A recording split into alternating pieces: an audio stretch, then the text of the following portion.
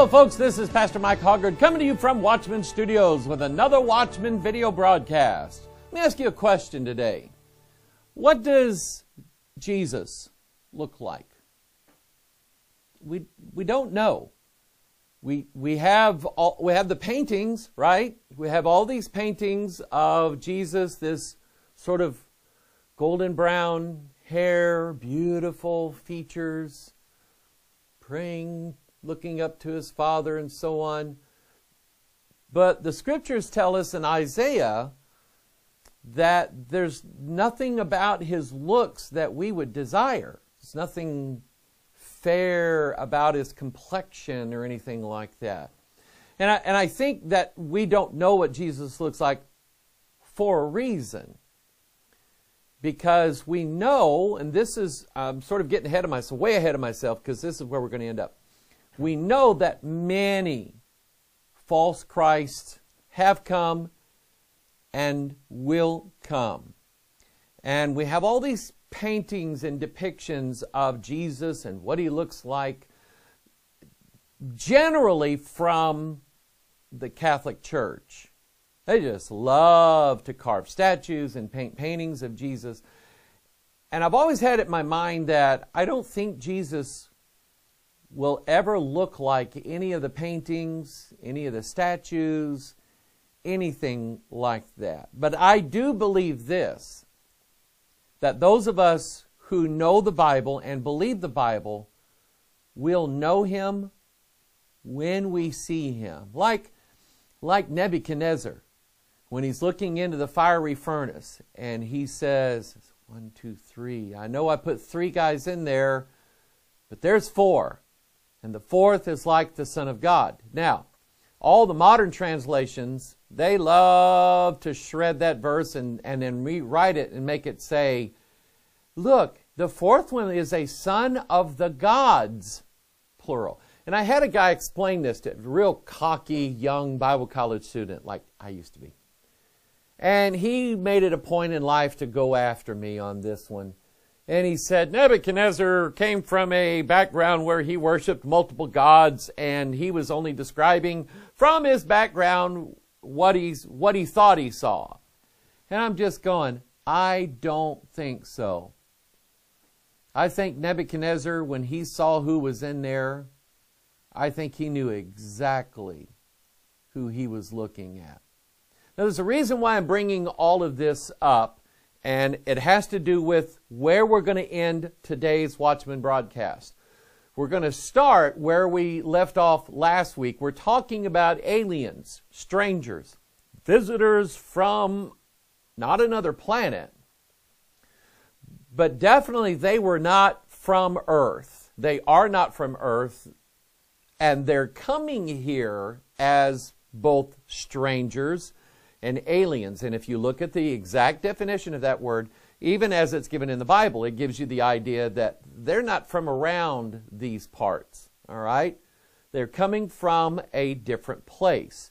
And in this case, we're looking at a group of aliens called the Nordics. Now, the name and the title sort of gives you a clue as to where these beings, these devils where they're coming from. Nordic meaning up north. And we're going to look more into that theme as we move through this series dealing with these Nordic aliens. But I want to draw your attention, first of all, to a website that has an article sort of explaining about the Nordic aliens. Now, the website, get ready, is Gaia.com. Now, no, I haven't turned over to earth worship. And I know and understand who Gaia is. Gaia, it doesn't matter what goddess you call this particular goddess, whether she's uh, Gaia or Diana or Xingmu or Ishtar or Ashtaroth or Isis, any of those, you're still dealing with, I believe, one entity and that is her name in all capital letters. Revelation 17, mystery, Babylon the Great, the mother of harlots and, and abominations of the earth. 13 words there. You can't miss it. So I want you to think of opposites. we know from Galatians what Paul told us that Jerusalem above is free, which is the mother of us all. So my second birth, my first birth comes from Judy Hoggard. My second birth comes from Jerusalem above. I was born in the inner man, I'm born free. So Jerusalem above is the holy city. Uh, she represents the pure bride of Christ and so on. Flip this upside down, turn it 180 degrees, and now you have Mystery Babylon. Mystery Babylon is the evil harlot spirit of everything down here. She's the mother of everything down here. And so throughout centuries, people have called her by various names. And one of those names is Gaia. Gaia is Mother Nature or Mother Earth who gives life to all of us, and she should be worshiped. And by the way, she doesn't want any factories put on her land. She doesn't want men owning her. That's a bunch of baloney. Don't fall for that stuff, okay? So, but Gaia, this, um, this particular organization, they put out a lot of information. Every now and then they put some videos on YouTube, but they really want you to buy a subscription to watch some of the really good videos that they have, all right? Because Gaia is all about one thing. What? You think harlots just give themselves away for free because they really do love people? No, they, the love of money is the root of all evil. So, anyway, but Gaia has an article about the Nordic aliens. And here's what Gaia.com says She calls them messengers of harmony. Ancient civilizations around the world have spoken of angelic beings that descended from the sky, sent by God um, to assist, assist humanity by sharing their spiritual and emotional wisdom with earthlings. These mythological entities appear to continue their mission to this day, and many believe they are emissaries from space, an extraterrestrial species known as the Nordic or Pleiadian race. Now, I want you to remember, take a piece of paper and write down Pleiadians or the Pleiades because apparently that's where these particular aliens say that they come from. Now, I'm going to show you something in a little bit related to that. I'm going to show you more related to that in an upcoming Watchman broadcast. I can only fit so, in, so much in at once. Uh, but remember the Pleiades. That, of course, being one of the um, star constellations that's mentioned in the Bible. So they cl- claim to come from the Pleiades, or they call the Pleiadians or the Nordics. They are, according to Gaia, angels sent from God to assist humanity. Assist us in what? Here is various, and I showed some of this last week, various images of what people have claimed that they've seen concerning these Nordic aliens. Blonde haired, blue eyes, fair complected. Sometimes they're wearing colorful uniforms with markings on it, sometimes they're not. I don't think anybody's ever seen them in the nude. I don't know that, but I, I don't think so. But obviously, very fair complexion, uh, beautiful golden strands of blonde hair, similar to how some of the paintings of Jesus are.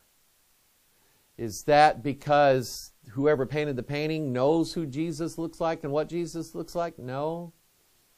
No, I think it's worse than that. I think it's establishing an image in people's minds of who they want everybody to believe Jesus or what they want everybody to believe Jesus looks like as a setup. But remember, those who believe the Word of God, those who truly know Him, will know Him at His coming. And we, we won't be going, I, I see two Jesus. I, I don't know which one to choose. Trust this Bible, people. God will tell you who to choose, all right? Here's some more information from this article. Gives a little background, mythology and history. Nordic aliens are also known as tall whites and space brothers. So that just sounds weird, doesn't it? They are thought to be the angelic beings represented in many religions and ancient civilizations. Now, there, they're not too far off. The Hopi Indians, these peaceful entities are believed to be the true white brothers foretold in Hopi prophecy, signaling the end of the fourth age. Vril Society. Although generally considered a benevolent species, there is the possibility that the Vril Society was influenced by Nordics and that factions exist who had strayed from the path of light, aligning with malevolent entities that are working against humanity. Now, trust me, I'm going to get into the Vril Society, the Thule Society, the Hyperboreans, the Arcturians.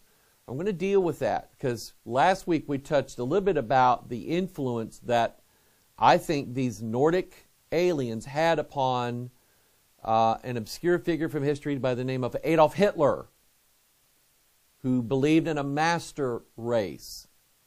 Now, his idea of a master race um, was a little bit short sighted. I don't think, uh, well, we definitely know that Adolf Hitler was not ever going to be the Antichrist to rule the world forever. We know that.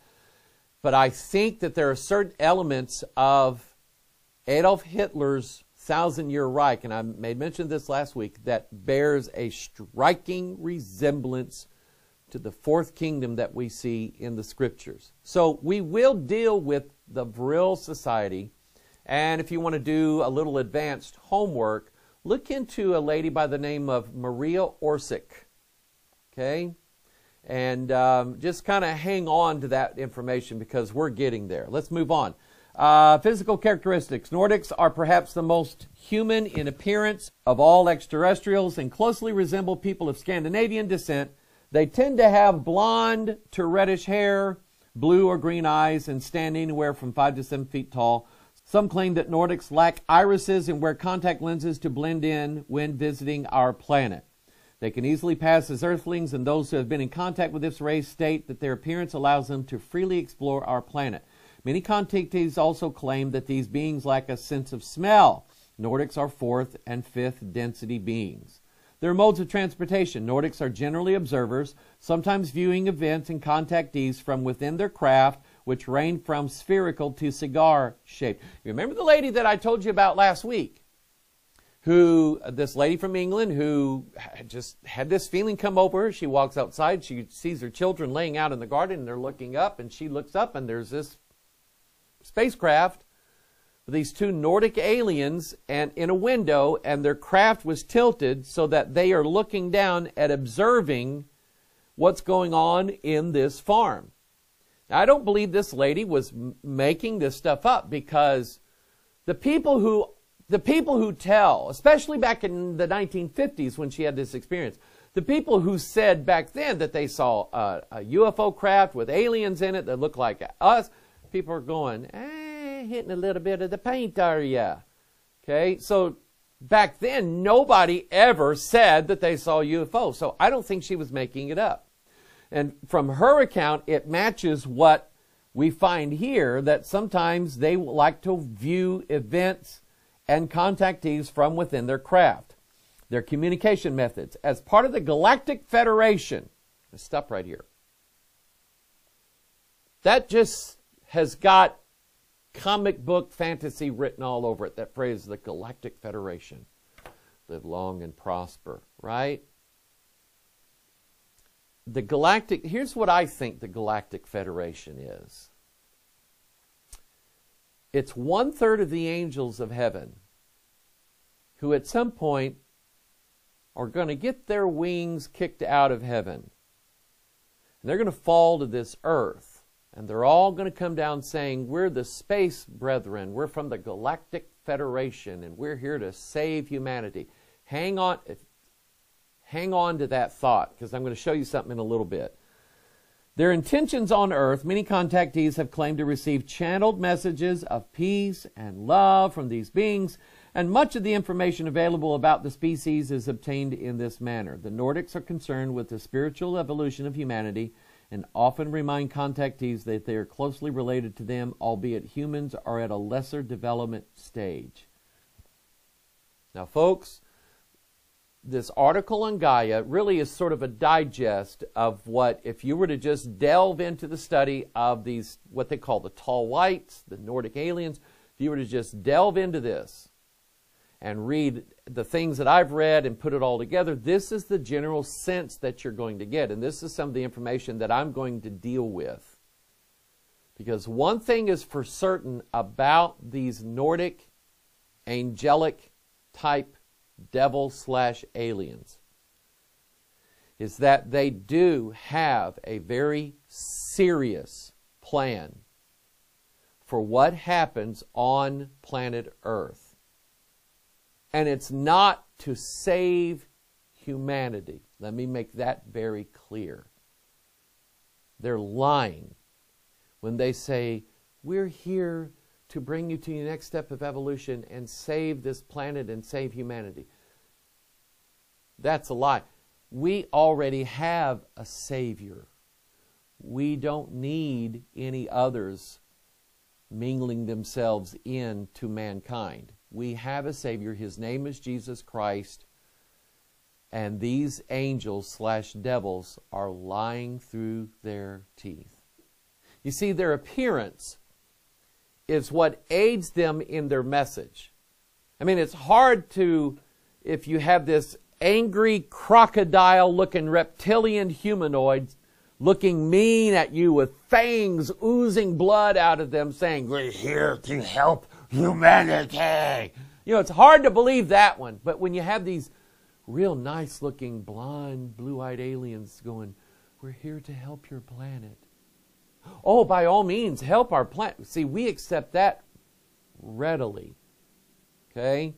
So just keep all these things in your mind as we move through this information. There is also an article on Wikipedia about the Nordic aliens. Now, granted, probably whoever wrote this article probably didn't believe in them, but they did digest some of the information that um, I've looked into and some things that I'm going to share with you. Let me read to you a portion of the article from Wikipedia about the Nordic aliens. In ufology, Nordic aliens are humanoid extraterrestrials purported to come from the Pleiades, remember that, who resemble Nordic Scandinavians. Professed contactees describe them as typically males, six to seven feet tall, about two meters, with long blonde hair, blue eyes, and with skin tones ranging from fair to tan. Remember what Travis Walton said. Ufologist George Adamski is credited with being among the first to claim contact with Nordic aliens in the mid 1950s, and scholars note that the mythology of extraterrestrial visitation from beings with features described as Aryan often include claims of telepathy, benevolence, and physical beauty. Now, they mentioned George Adamski here. One of the things that I'm not going to do is spend a lot of time talking about what George Adamski saw. He was one of the uh, I won't say he was the first to ever write a book about UFOs, but he wrote a book about UFOs and claimed that he had been in contact with these Pleiadian Nordic aliens. The problem is Adamski has a really, really big problem when it comes to whether or not he's telling the truth. There's several things, and I won't get into all of it, there's several things that he said that apparently were just an outright fabrication. Okay? As is the case with what happens when you have all of these people coming out saying they saw an alien or they saw a UFO or they had contact or whatever. There are some that are telling the truth. The 62 children at the um, Ariel School in Zimbabwe who saw the, the silvery disc land on their playground and these aliens come floating out and they're passing on messages through the brains of some of these children. These 62 children are not lying. That happened. But then you have others who muddy the waters. They make claims that are unprovable. They make claims that then they turn out that they are absolutely a lie. Um, they produce some sort of evidence, like a photograph or a video, that they themselves produced or made, and it was a hoax. And so anybody who doesn't want to believe in UFOs and aliens will refer to that and say, that's been proven a hoax. So I don't believe in that stuff. I get that. I do. I understand that. But there are some people who are telling the truth. And if I were to have, if I, you know, I know about George Adamski and I know about Travis Walton. Out of the two, I believe Travis Walton's telling the truth. George Adamski made too many false claims to be taken seriously. But he was one of the first to sort of come out in public and say, I know some people who are not from this earth. They look like us, but they're not from this earth. And I'm going to deal with that issue in today's Watchman broadcast. If we look at the history of the Nordic alien phenomenon, here's what Wikipedia says. Cultural historian David Skal wrote that early stories of Nordic type aliens may have been partially inspired by the 1951 film The Day the Earth Stood Still. I'm going to talk about that in which an extraterrestrial arrives on Earth to warn humanity about the dangers of atomic weapons. Uh, Bates College professor Stephanie Kelley-Romano described alien abduction beliefs as, quote, a living myth, and notes that among believers, Nordic aliens are often associated with spiritual growth and love and act as protectors for the experiencers. That's a lie. That's the setup, but that's a lie. Number one, they are real, and I'll show it to you from the Bible. Number two, any statement that these Nordics make about being the protectors of earth or the saviors of mankind, don't believe it, people. Don't fall for it. That's the setup. Um, in contactee and UFOlogy literature, Nordic aliens are often described as benevolent or even magical beings who want to observe and communicate with humans and are concerned about the Earth's environment. Or Nordics are environmentalists. Nordics read Al Gore's book about environmentalism. Nordics believe that the ozone layer is depleting. No, Nordics believe in, in, global cooling, no, um, global warming, climate change. Nordics believe in that. And they're here, they're going to come and, and, and save the earth from that make believe stuff. Uh, anyway, believers also ascribe telepathic powers to Nordic aliens and describe them as, quote, paternal, watchful, smiling, affectionate, and youthful. Kelley-Romano observes that white extraterrestrials are those that are most revered among claimants compared to other beings like the Greys and argues that claimants may use their stories about extraterrestrials, quote, as a means of articulating racially based fears. During the 1950s, contactees, especially those in Europe, claimed encounters with beings fitting this description. Such claims became relatively less common in subsequent decades as the gray alien supplanted the Nordic in most alleged accounts of extraterrestrial encounters. And so, yes, and, and we still haven't dealt with the gray aliens yet. That's going to be a while. But the idea of we were visited by aliens and here's how they how they look uh, over time that got changed. It was these blonde-haired, blue-eyed, or these human-looking aliens, and now from like the mid 70s on, uh, and this is what uh, Travis Walton said when he first woke up on the ship he was surrounded by gray aliens. But then he finds himself being led to the table by these tall, blonde, Nordic looking aliens. So, a separate race? Probably. So, what is their role? What are they doing here? What is their plan? Are they even real? The Wikipedia article mentioned a movie called The Day the Earth Stood Still. Now, I have been, along with someone as a boy, I grew up typical American boy, reading comic books and loving science fiction movies. So I watched The Day the Earth Stood Still. And then they did a remake of this movie uh, back several years ago with Keanu Reeves. Even though the storyline is slightly different, the plot is exactly the same. in both cases, Klaatu, a made up name for sure, is a space brother from the Galactic Federation who comes down to the Earth at, with his giant, you know, protector robot. And he's, he's coming here to convince the world that the humans are dangerous. Now that we know how to explode atomic bombs, human beings are dangerous. He represents, Klaatu represents uh, a faction of the Galaxy Brothers who've all decided that the humans need to be obliterated because they're dangerous because they have nuclear weapons. And we're harming the planet. And we're melting the icebergs. And we're using too much hairspray. And on and on and on. In other words, the message is the humans are bad. We need to get rid of them because the planet doesn't belong to them. That's the message from both of them. Let me counter that with some word of God, shall we? So this is this is what happens when people stop believing the Bible. They start believing the false narrative that humans don't belong here or we need to shave off about six and a half billion people off the planet, or whatever.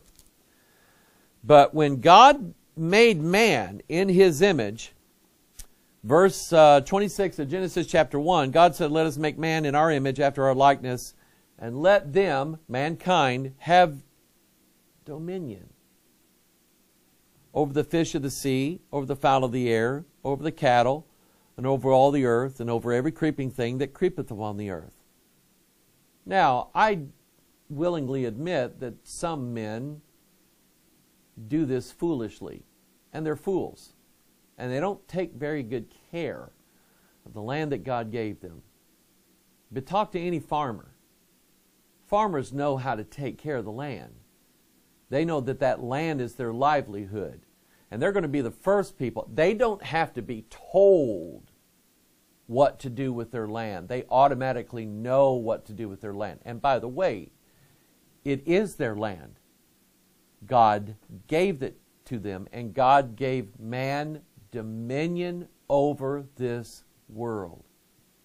So remember what we was talking about a while ago, how Gaia is Mystery Babylon the Great. Mystery Babylon as a spirit hates mankind. Why? Think Jezebel. Jezebel didn't like Ahab telling her what to do. Ahab was not the boss in his house. It was clearly Jezebel. And Jezebel is Mystery Babylon. And Mystery Babylon does not like the fact that God gave dominion to man over her. So she has a plot, conspiracy let's take away the dominion of man off of the earth because man's doing a terrible job. Man is doing this and man is evil and we need to get rid of all the men. And you understand the, the idea where you have environmentalists. I happen to have a family member, not close family, cousin, who described him. I, I, was at a family get together one time and somebody asked him, you know, what do you do for a living? He said, well, I'm a professional tree hugger. What does that mean? He said, I work for a company that takes donations from very wealthy people and we use those donations to buy large pieces of land in America. And once we own that land, we run everybody off of it called rewilding. Remember when Hurricane Katrina came in and just tore up New Orleans and that area along the Gulf of Mexico?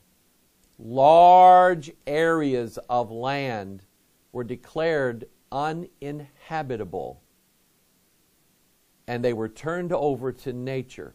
Rewilding is a real thing and it's going on all over the world. Let's get these pesky humans off the land, and we'll just let we'll, we'll just let the earth take over. And that's the idea.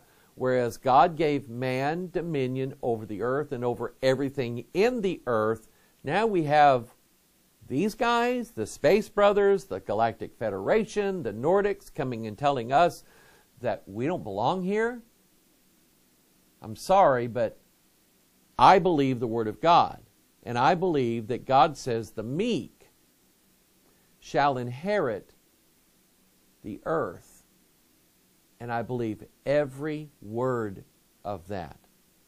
So that's, that's part of the overall conspiracy of what these aliens are all about. Two movies.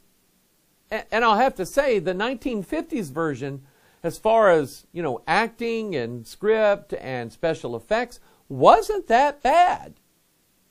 But then the later Keanu Reeves, I don't remember what year, but it was in the mid O's between 2000 and 2010, somewhere around in there, where he made the remake of The Day the Earth Stood Still. Granted, the special effects are a little bit better, but it's the same idea. We're going to kill all the humans so we can save the planet. But that goes against the very plan of God. So, what does that make? These Nordic, beautiful Nordic aliens makes them the enemies of God and His Word. So, let's ask the question now, because everything must be Bible.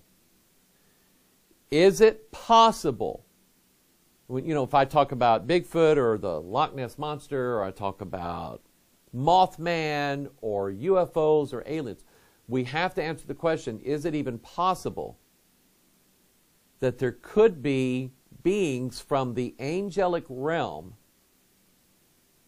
who look extremely like us human beings, so much so that we would never know the difference. This is what I was going to talk about last week, and we just simply run out of time, so let me get into it. The scripture says yes. The scripture actually says that they could be in the room with you and you would never know it. They can walk up and down the street. They can be on the bus with you. They can ride an airplane with you. They can attend your church service. They can perform basically any function in this world and fulfill any role in this world literally that they want to because in most cases, they are undiscernible from normal human beings. So let's start with the most obvious verse, Hebrews 13:2. Be not forgetful to entertain strangers, for thereby some have entertained angels unawares. So again, these things could be sitting in your house, drinking coffee with you, eating biscuits with you. It's tea time, right? They could attend your church services. They could be uh, your Uber driver. They could be just about anything. And you would not be able to discern these types of angels from regular human beings. You know, when the Bible says that we are made in the image of God, it also talks of these angels, gives them the title of sons of God. So we know then that probably at least some of the angelic realm, both good and evil, would have the very image of God or the image of mankind. So, Paul, I think Paul wrote Hebrews. So, I think Paul is saying here, you know, if somebody knocks on your door and says, Hey, I'm traveling through town and we need a little food, uh, can you help us out? Paul says, Do it. Be careful. Because that person might be an angel. I've never, ever forgot about that. Never forgot about that. We had a situation one time at our church where we had uh, we had a barbecue after church service one Sunday afternoon, and um, a lot of us were outdoors. And there was a man because we have Interstate 67 that runs up from Little Rock to St. Louis and then I 55, which goes all the way down the Gulf of Mexico and runs up all the way up to Chicago. And our church is at the intersection of 67 and 55, two major highways. So we had a guy walk up while all of us are sitting there with barbecue sauce all over our face and everything like that, and he simply asked, he said, I'm trying to get to Chicago. And we all looked at each other, and he just looked like a normal person. And it just instantly, the verse came to my mind Be careful to be, be not forgetful to entertain strangers, for thereby some have entertained angels unaware. And I said, Hey, let's get this guy some food, as much as he can carry. So we let him sit down and eat with us. We fed him well. Then we kind of put together some food that he could travel with. And then two of our guys took him in the church van and they headed north. They went up 55, got on 270, which is the loop around St. Louis. When you get into Illinois, it's 255. And they dropped him just before we got to the bridge that crosses the Mississippi River. And those two guys in our church said they dropped him off. They went a block down, turned around, and that guy had disappeared. Now, was he an angel? I don't know. And that's the point. We'll never know until we get to heaven and that angel says, Remember me? Okay, and he still has barbecue sauce around his lips or whatever. So it's very possible we could have done exactly what the scripture said. And you could have done it and not ever known it. So the point is this yes, there are angels that look like us. So let's do a little bit more study of angelology. This is Angelology 101, a course, all right? Genesis 18, verse 1 And the Lord appeared unto him in the plains of Mamre. This is the story of Abraham. And he sat in the tent door in the heat of the day, and he lifted up his eyes and looked, and lo, three men stood by him. And when he saw them, he ran to meet them from the tent door and bowed himself toward the ground and said, My Lord, if now I have found favor in thy sight, pass not away, I pray thee, from thy servant. Let a little water, I pray you, be fetched, and wash your feet, and rest yourselves under the tree. And I will fetch a morsel of bread, and comfort ye your hearts. After that ye shall pass on. For therefore are ye come to your servant? And they said, So do as thou hast said. And Abraham hastened into the tent unto Sarah, and said, Make ready quickly three measures of fine meal, and knead it, and make cakes upon the hearth.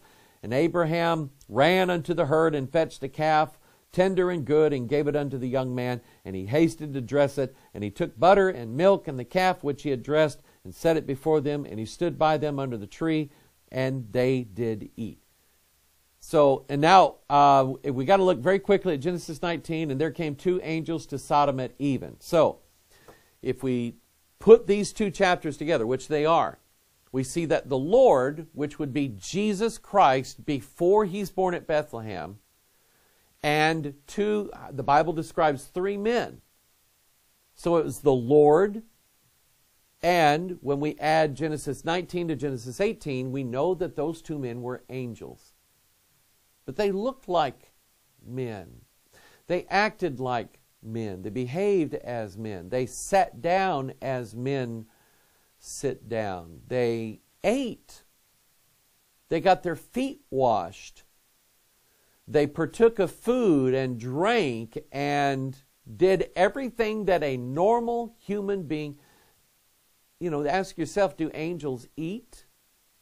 The ones in heaven? I would say yes because the Bible describes the manna that God fed to Israel as the food of angels. Now, why do they eat? I don't know. But I know that they do.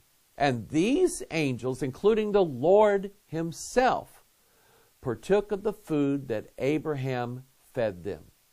So, for all intents and purposes, these three men who we know were of the angelic realm, and one of them was the Lord Himself, you could not discern them from angels to men. In other words, you couldn't say uh, those three guys are angels, the rest are just humans. How can you tell? Well, they look different. They act. No, they looked exactly the same, and the Bible described them as men. Now, Genesis 19. There came two angels to Sodom at even, and Lot sat in the gate of Sodom, and Lot, seeing them, rose up to meet them, and he bowed himself with his face toward the ground, and said, Behold, now my lords, turn in, I pray you, into your servant's house, and tarry all night, and wash your feet, and ye shall rise up early, and go on your ways. And they said, Nay, but we will abide in the street all night. And he pressed upon them greatly. And they turned in unto him, and entered into his house, and he made them a feast, and did bake unleavened bread, and they did eat. If anything, these angels are very well taken care of and very well fed, and they have very clean feet. When they got to Abraham's house, they had their feet washed. When they got to Lot's house, they got their feet washed. When they went to Abraham's house, Abraham killed, I mean, he had fresh meat. He killed a calf. That's tender, tender meat. Great stuff. And they ate meat and ate bread and drank. And when they get to Lot's house, same thing. He feeds them and he's going to bring them into his house. And they said, Nah, we'll sleep out in the streets. And Abraham's like sweating bullets, going, uh, No, you don't. Uh, you don't want to sleep out in the street in Sodom. So he bid them come into his house, and they did. We look at verse 4 But before they lay down, the men of the city, even the men of Sodom, compassed the house round, both old and young, and all the people from every quarter. And they called unto Lot, and said unto him, where are the men which came in to, to thee this night? Bring them out unto us, that we may know them. Now let me stop right here. The men of Sodom saw these two angels. Were they aware that they were angels? We don't know. But they saw these two angels go in Lot's house. And they're beating on Lot's door saying, Send those two guys out to us, Lot. Who do you think you are keeping these guys from us? See, they were sodomites, weren't they? Okay? You know what Jude says an interesting state. For those of you who don't believe that angels cohabitated with human women in Genesis 6 and also after the flood, those of you who don't believe that, number one, if you don't want to believe it, I understand it. Okay? But to say that angels don't have bodies, angels are spirits, they don't have bodies. To say that, I believe is, I won't, I won't use the word ignorance, that's a harsh term. I think you need to study the Bible a little bit more. Because what do we know for a fact the men of Sodom went after, according to the book of Jude? In Jude 7, even as Sodom and Gomorrah and the cities about them in like manner, giving themselves over to fornication and going after strange flesh. Strange flesh. Now, flesh is usually reserved for human beings. But these men of Sodom wanted the bodies of these angels to violate these angels. Okay? It's disgusting, it's grotesque, it's awful, but that's what these men wanted. Now, I mentioned this last week when Travis Walton described the female Nordic. He basically said in so many words, she was pretty hot looking. Okay? So, can you sort of see now that the sons of God in Genesis 6, before the flood and after flood, when they appeared to take women, these women went voluntarily, I believe. Trying to keep this broadcast PG rated, but I will tell you, Whitley Strieber who wrote Communion and other books, and he is world known for being very. He goes around and gives lectures to this day all over the world about his abduction by aliens. And he said that the image that you see on the front of his book, Communion, was actually a female alien. And that at least one time that I know of, Whitley Strieber, in one of his talks, described an encounter with this alien. He committed fornication with her. And he said it was on a level that I had never experienced before. It was so intense. Now, people, this world is absolutely crazy with adultery and fornication. And they go around singing Mick Jagger's song, I Can't Get No Satisfaction. I believe when these aliens, these angels, finally show up, that the human beings on this earth will be willing participants in mingling themselves with them. That's what I believe. Okay, let me let me keep reading. Um, verse six, and Lot went out uh, to, to the door unto them and shut the door after him and said, I pray you, brethren, do not so wickedly. Behold, now I have two daughters which ye have not known. Man, let me, I pray you, bring them unto you, and do ye unto them as is good in your eyes. Only unto these men do nothing. For therefore came they under the shadow of my roof, and they said, Stand back! And they said again, This one fellow came in to sojourn, and he will needs be a judge. Now will we deal worse with thee than with them. And they pressed sore upon the man, even Lot and came near to break the door. But the men put forth their hand and pulled Lot into the house to them and shut the door. And they smote the men that were at the door of the house with blindness, both small and great, so that they wearied themselves to find the door.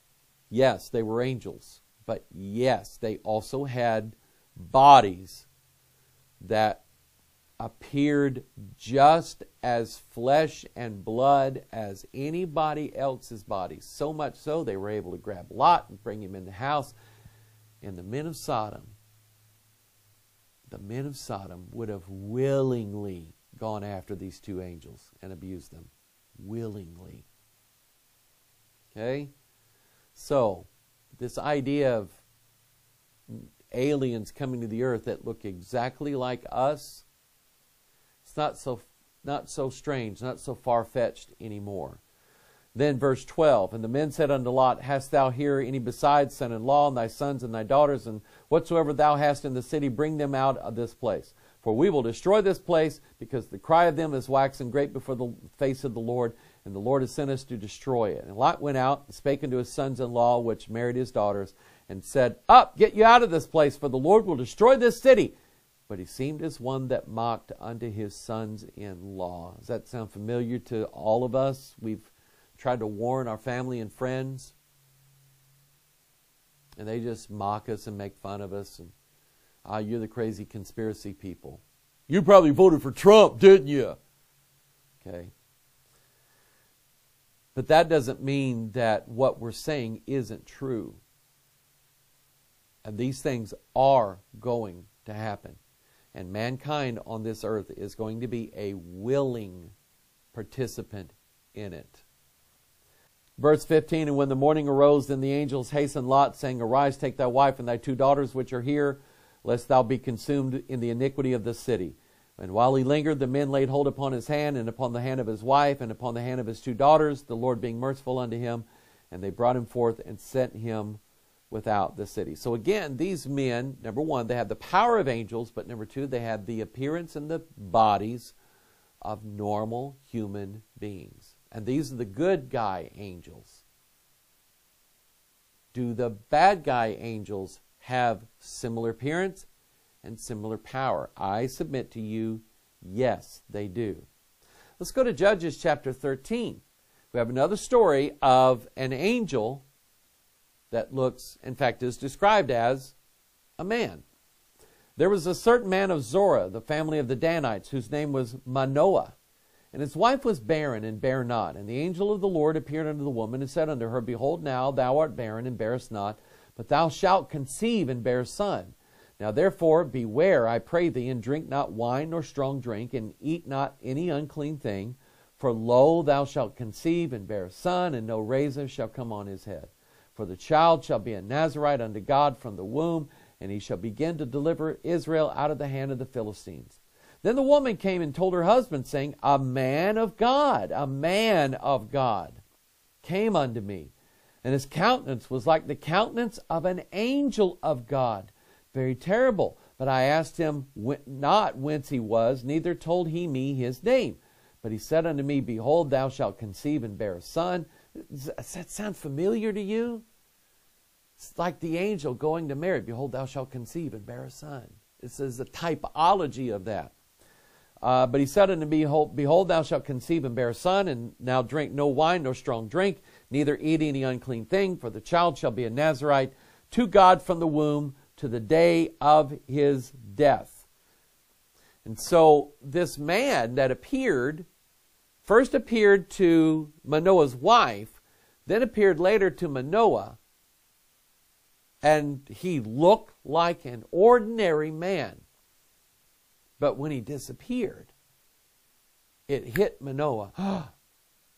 that was no ordinary man. Uh oh, we're going to die. Why? Because we've seen God face to face and nobody can see God and live. So, number one, I do believe it was the Lord Jesus Christ, but in every way he was described as a man. But there was something about his face that they knew was different. Daniel chapter 8. Daniel has angelic visitations. And notice how these angels, or this particular angel, is described by Daniel himself. Daniel 8.15, And it came to pass, when I, even I, Daniel, had seen the vision and sought for the meaning, then, behold, there stood before me as the appearance of a man. And I heard a man's voice between the banks of Ulai, which called and said, Gabriel, make this man to understand the vision. So we know that it was Gabriel, one of the chief high archangels of heaven, the same one who delivered the message to, I believe, Elizabeth and then to the Virgin Mary. This same Gabriel is described as the appearance of a man. And had God not told Daniel that this was, in fact, Gabriel, the angel of God, Daniel may never, have never known it. Uh, maybe he would have figured it out. But the idea is, is that these angels have the appearance of man. They're strikingly similar to man. And we're told by the Apostle Paul in Hebrews that if we entertain them, you're doing a good thing because that could be an angel. So, is it possible then that these evil angelic beings, I, I, got a verse in my mind here that I don't think is in my notes. I want you to consider this. Even if they don't start out looking all benevolent, pious, and holy and angelic, can they transform themselves to deceive mankind. Yep. Uh, in 2 Corinthians 11, verse 13, for such are false apostles, deceitful workers, transforming themselves into the apostles of Christ. So maybe they are start out all reptilian and junk. And then, when they appear to man, transform themselves. And no marvel, for Satan himself is transformed into an angel of light. Therefore, and here's something I want you to think about when it comes to this verse, verse 15. I've always thought that when it says, therefore, is no great thing if his ministers also be transformed as the ministers of righteousness, that that would be earthly human agents. But is it possible that the Bible could also be referencing certain of the angels. We know that when Satan is finally cast out of heaven, he takes his tail and grabs one third of the angels and casts them down with him. Would it be possible that the ministers being referred to in verse 15, therefore it is no great thing if his ministers also be transformed as the ministers of righteousness, whose end shall be according to their works? Is it possible that these ministers spoken of in verse 15 are let's say it, hell's angels, the evil angels who are kicked out of heaven, literally take the, the tail of the dragon, dragging them all the way down to the earth. Is it possible that these aliens are, in fact, the ministers that have been transformed to appear benevolent? Because remember that article we read from Gaia was all about how wonderful and pious and benevolent and loving that these aliens, these white Nordic aliens are. How great they are.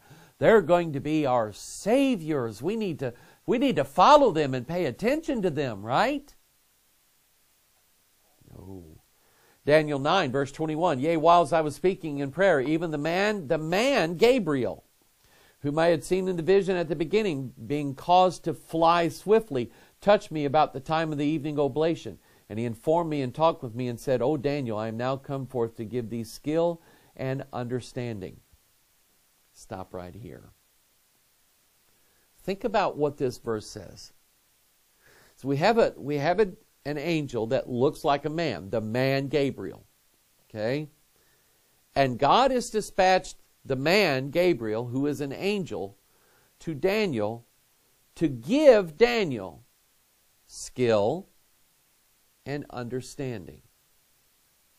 So let's take this and apply this in the realm of UFOlogy, alien contact, and so on. There's a story that says that uh, a flying saucer crashed before the one in 1947 crashed at Roswell. This one actually crashed in the very early 40s, or maybe the late 30s, in Germany. And that Adolf was made aware of this, secured the craft, and then sent his top scientist, number one, trying to figure out where this thing came from, who built it, how did it fly, and how could he use it? We know for a fact that Hitler's scientists were working on disc shaped or saucer shaped flying machines. We know it for a fact that Hitler's scientists were working on this. Where, where did they get the technology? I'm going to mention a name Robert Lazar. Robert Lazar is the guy who came out for the very first time. Nobody, nobody before Bob Lazar ever spoke the words Area 51 in public. But he did. Because he knew that his life could probably be in danger. According to Bob Lazar, he was hired by a company called EG&G to work along with Los Alamos as a contract worker out at a place near Area 51, a place called S4 or Section 4. And that at S4, you have all these hangars built into the side of the mountain so that it looks like they're just part of the mountain. Nine of them. And nine of them contained saucer shaped extraterrestrial craft. Bob Lazar says that he was hired and sent out to S4 to work with a team to reverse engineer these craft so that they could figure out how they flew, how they were able to solve the gravity issue, how they were able to, you know, to go uh, 4,000 miles an hour in one direction and then suddenly make a, a right turn without decelerating or slowing down and without killing the pilot how they were to do all of that. He worked out there for six months and then came out and blew the whistle on it. And all of a sudden now, Bob Lazar, who is like, I think he's in his 30s at the time, all of a sudden now, Bob Lazar doesn't exist. Oh, he's real. He's out there talking about it. But all of a sudden now, this kid grew up in America, had been working in the workplace for years, had gone to several universities. Number one, there's no public school anywhere that has a record of Robert Lazar ever being there. No college, no university, no past history of uh, no work history, nothing. Nothing exists of Robert Lazar. It's like he was wiped off the face of the earth, and yet there he is. He did save one, I think, a W 2, and it actually checks out that this W 2 is legitimate, that he worked for a certain I don't know, military organization. But here's my point in this, in, in Daniel 9. this angel Gabriel was sent to Daniel to give him skill and understanding. So you hear all these stories about how the aliens are giving mankind knowledge on how to do this and how to do that and and we're reverse engineering, you know, UFOs and so on. Is it even within the realm of biblical possibility that understanding and skill can be given to mankind by angels? Well, Daniel 9 says yes. Absolutely. Yes. When Noah built the ark, where did he get the plans from? He got them from God. When Moses was to build the tabernacle, how did Moses know how to build the tabernacle? God showed him the one in heaven and gave him all the instructions that he needed, and then set a man, I can't remember his name, but set a man apart there, one of the Jews, that God basically just put into his mind all of the details that he wanted to build the tabernacle and the Ark of the Covenant and the showbread and the, and the, and the candlesticks, everything about it, God put it into this man's mind. So is it possible that aliens, whether they be grays or whether they be tall whites or whatever, are giving mankind information about technology and skill and understanding that man would have never figured out himself? I believe it. I believe it. Let's move on. Luke 24. Verse 4 And it came to pass as they were much perplexed thereabout, behold, two men stood by them in shining garments. And as they were afraid, and bowed down their faces to the earth, and they said unto them, Why seek ye the living among the dead? He is not here, but is risen. Remember how he spake unto you when he was yet in Galilee, saying, The Son of Man must be delivered unto the hands of sinful men, and be crucified, and the third day rise again. So they went to the tomb of Jesus. Didn't find Jesus there. What did they find? Two men. Now, the Bible doesn't say that they were angels, but they were angels. But how does the Bible describe them? As men. They looked like normal men. And they could have walked around you would have never known. You remember when Jesus with, was with those guys on the road to Emmaus? And they were talking about Jesus Christ, how he died, and they heard that, you know, maybe resurrected, and Jesus began to talk with them, and they finally got to their destination. He sat down and break bread with them. And all that time, he was telling them the whole time about how Jesus could be seen in all throughout the Old Testament. Oh, I'd love to be a fly on the wall of that house listening to that conversation, right? Okay? And then all of a sudden he vanished. And they went, oh, That was him. That was him. That was Jesus. They were with the crucified and resurrected Jesus and didn't even know it until he disappeared right in front of them. Then they knew. So again, the question is is it possible that these tall, blonde, blue, blue-eyed, Nordic-looking aliens can mingle in amongst mankind and they would look just like us. Absolutely. Mark 16:5. And entering into the sepulchre, they saw a young man sitting on the right side, clothed in a long white garment, and they were affrighted. And he saith unto them, Be not affrighted. Ye seek Jesus of Nazareth, which was crucified. He is risen. He is not here. Behold the place where they laid him. But go your way, tell his disciples and Peter that he goeth before you into Galilee.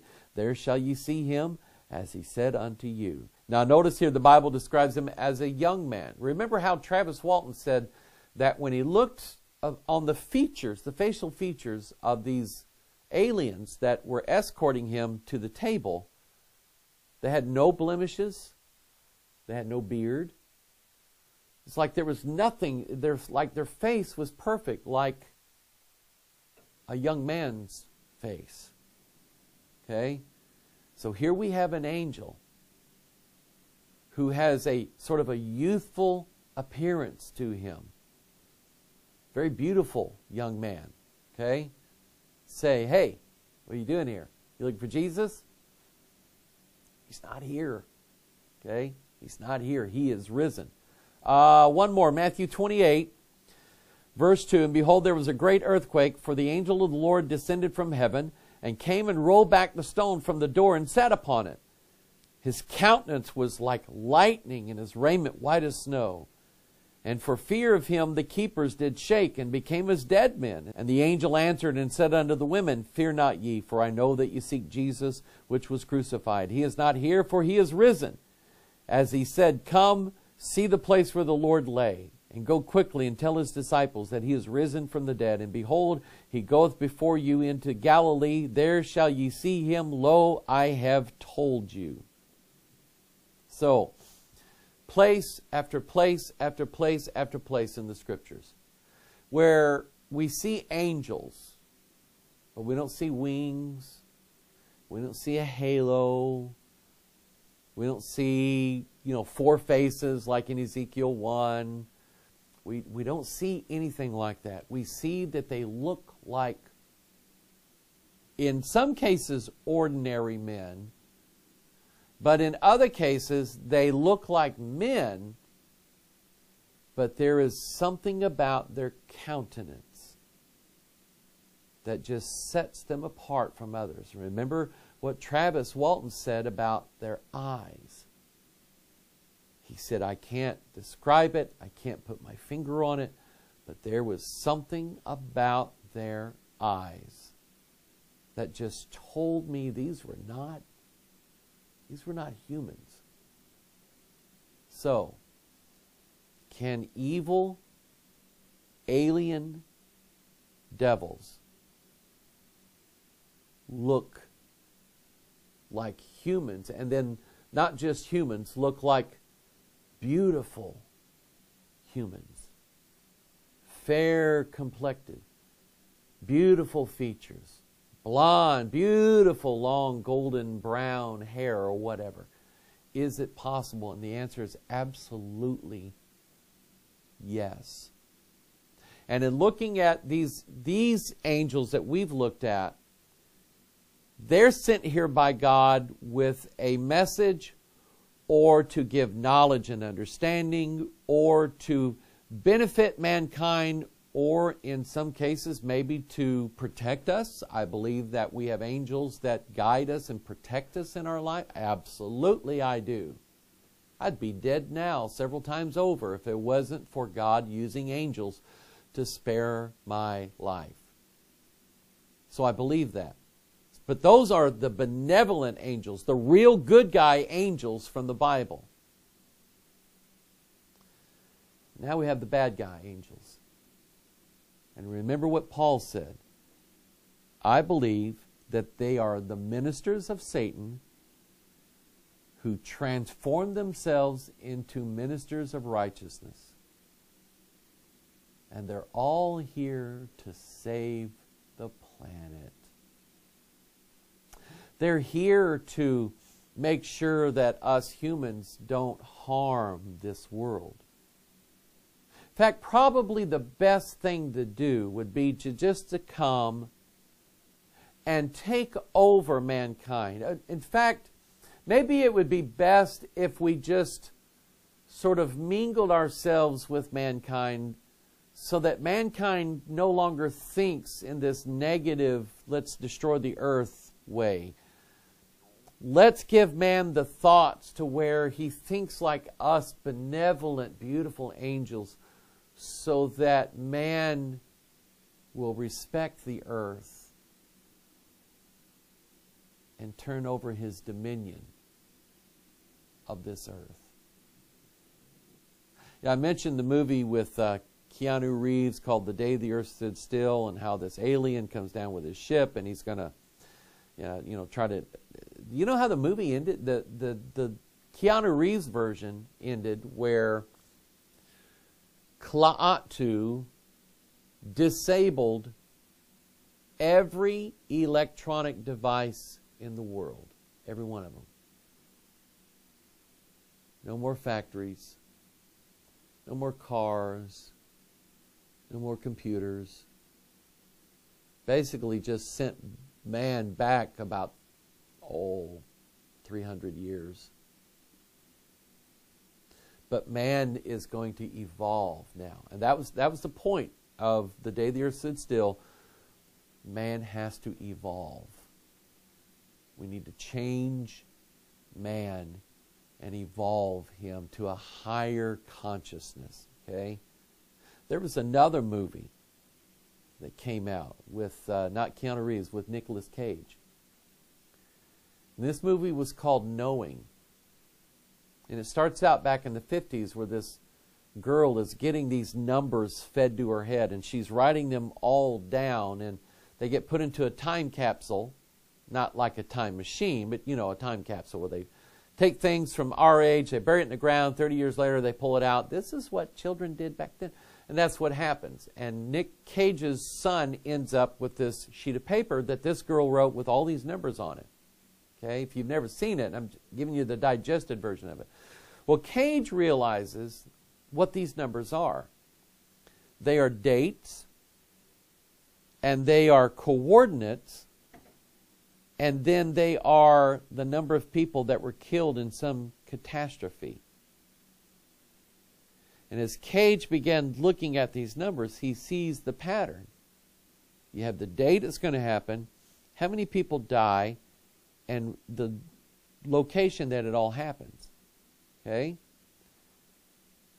During the course of the movie, take a look at this. You have these blonde Nordic type angels.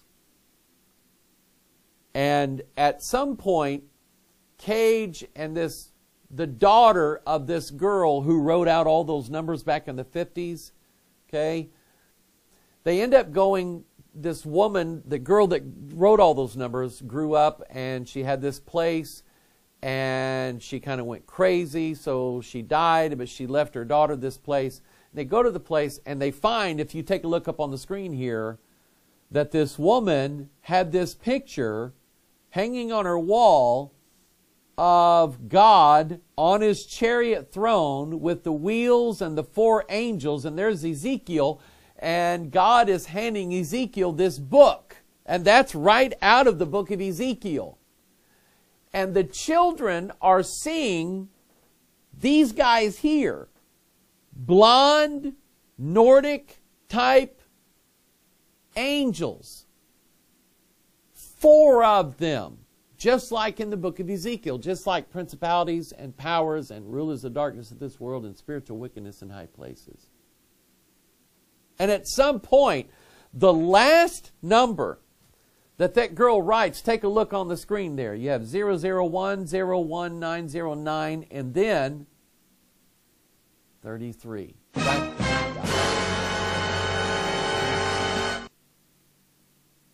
Oh, but then you find out that's it's not a 33. It's an E and an E.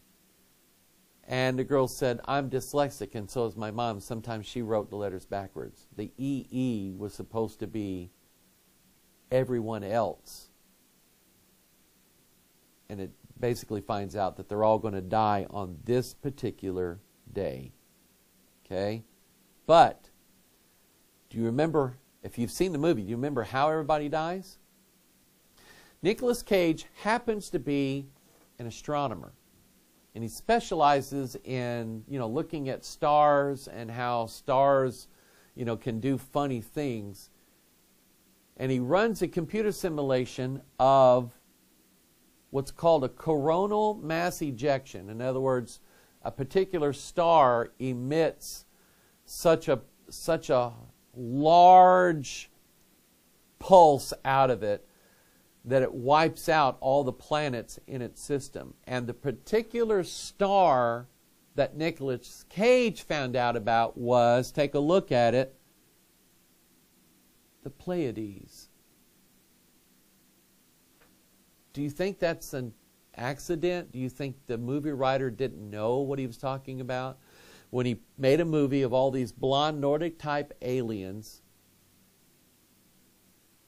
who come from the Pleiades, who knows what happens when the Pleiades sun destroyed all of its planets, Nicolas Cage realizes that our sun is going to have a mass ejection and it's going to kill all of life on the earth. So, what are the blonde haired, blue eyed Nordic Pleiadian angels doing on this earth, according to the movie? They're saving everybody. And at one point, you realize all these ships are coming down and rabbits are jumping on them and deer running in them and all these birds are flying in. And they say, It's an ark. As it was in the days of Noah, so shall it be at the coming of the Son of Man. So these Nordic aliens were there to take species from all over the planet, including the chosen children. The chosen children. At one point, the children who see these Nordic aliens, they call them the whisper people. You know why? Because when the aliens are talking to the children, they're talking in whispers. Is that how God talks? In whispers? No. You know who the Bible says talks in whispers? I'm not going to tell you this week. I'm going to make you look it up. Because there is an aspect of these Nordic aliens that I'm going to delve into probably next week of why these children called these Nordic aliens the whisper people. It has to do with who the Bible says they really are. Okay? But back to that number 33. That's interesting because remember the movie The Man of Steel? Superman? That was the uh, 70s version done by Richard Donner. And then a later version, it came out, what, 2010, 2011, something like that? And in the later version, you find out that Kal El, El is a Hebrew word for God. The two guys who invented Superman were both Jewish. Kal El, son of Jor El, tells everybody that he's been on this earth 33 years and he's about to become its savior. And if you know Superman, you find this out if you watch the 70s version of, of the Superman movie. And in the comic books, Superman had a, a home away from New York City, excuse me, Metropolis. Where was it, you know? It's called he called it his fortress of solitude. You know where it was? The North Pole. He was a Nordic. And he lived at the North Pole. It's an accident? I don't believe so. When you look at the logo of the United Nations. Notice that you have one, two, three, four sections in each part, and that's 32 sections altogether, with one section in the middle. And it's pointing directly at the North Pole. So 32 sections of the world with the point in the center where the North Pole is. That's 33. There's a video I watched. It's been taken down. I don't know why. Because I tried to look for it and so I could provide for you the link, but it's been taken down. If you know where it is, leave a comment on YouTube of where you think this video might be. The video was called Cusco Alien Contactee Has Important Message for All of Humanity. It was a speech given by Marcella de Lavassiere. She was told by an alien named Ariana, who was, a, I think, a Nordic, that there are 33 steps to the Christ consciousness silence, transformation, truth, faith, justice, and on and on and on. 33 steps to the Christ consciousness. Remember, I started out asking you, what, what did Jesus look like? Well, we don't know. But to me, it's interesting that the Catholic Church has their version of Jesus.